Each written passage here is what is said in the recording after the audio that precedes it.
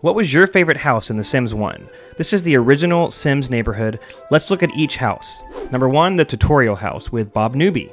This house was teeny tiny and had like two rooms, but it was always where I started. Number 2, across the street, this house basically had the exact same layout, again, very tiny.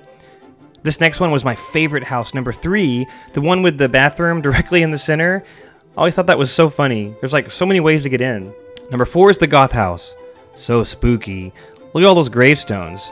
Okay, I'm getting a little scared. Let's move on. Number five, the two-story house that I honestly never really played. The entire floor was one big kitchen, if I remember correctly. And of course, number six, last but not least, the mansion. I love this one as well. I used to use Rosebud and just fill this place up with the most expensive items. The original Sims neighborhood is iconic. Now, if you want to see a video where I pretend to be a Sim in real life, click right here and watch that next. I want to see which of these houses was most popular, so please tell me in the comments.